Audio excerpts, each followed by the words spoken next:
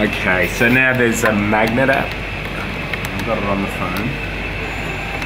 See if it works. It's doing something. Oh yeah, that is awesome. Look at that. Look at that.